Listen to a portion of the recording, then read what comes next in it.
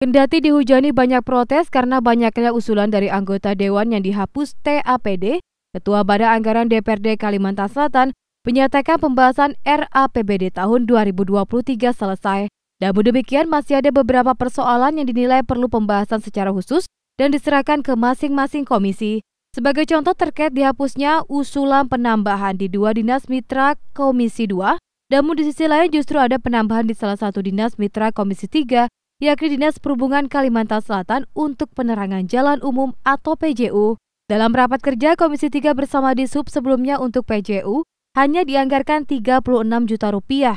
Namun saat pembahasan Banggar, DPRD, dan TAPD justru naik menjadi 52 juta rupiah. Ketua DPRD Kalimantan Selatan menyerahkan persoalan ini untuk disinkronisasi masing-masing komisi bersama mitra. Namun, RAPBD 2023 tetap akan diparipurnakan Rabu depan. Nah, makanya nanti uh, eh, SKPD, bukan SPD, komisi-komisi yang terkait uh, bisa membahas lagi untuk itu. Tapi kalau untuk penetapan tetap tanggal 23. Nah, jadi itu karena mempengaruhi dengan jalannya yang, yang tanggal 23 itu. Jadi Struktur RAPBD Kalsel tahun 2023 sendiri terdiri dari pendapatan daerah 6,7 triliun rupiah dan belanja daerah 6,5 triliun rupiah. Pendapatan daerah mengalami kenaikan 1,3 triliun rupiah jika dibandingkan dengan APBD murni 2022.